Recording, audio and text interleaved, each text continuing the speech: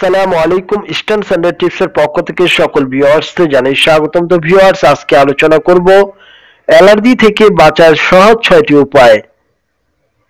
শীতকাল আসলেই ধুলাবালির পরিমাণ বেড়ে যায়। মানুষ সহজেই অ্যালার্জিতে আক্রান্ত হয়।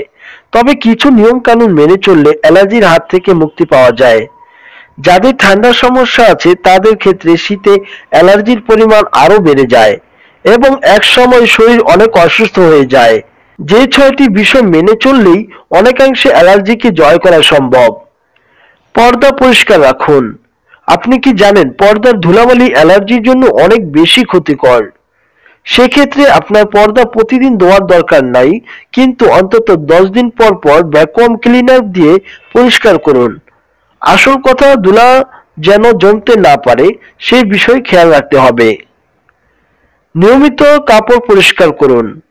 নিজের জামা কাপড় বা বিছানার চাদর দীর্ঘদিন পরিষ্কার না করলে ধুলাবালি জমে।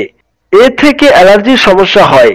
এই জন্য জামা কাপড় ব্যবহার্য সবকিছু কিছুদিন পর পর পরিষ্কার করতে হবে। ওয়াশরুম পরিষ্কার রাখা। ভেজা পরিবেশে রোগ জীবাণুর জন্ম হয় বেশি। ওয়াশরুম সবসময় ভেজা থাকলে সে থেকে ছত্রাকের জন্ম নেয় এবং এ থেকে অ্যালার্জি হয় শরীরে।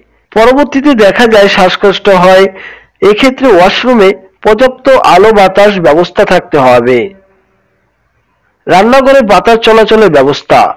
রান্নাঘরের ধোঁয়া আপনার পুরো বাসার বাতাসকে দূষিত করতে পারে এবং এ থেকে অ্যালার্জির জন্ম হয়।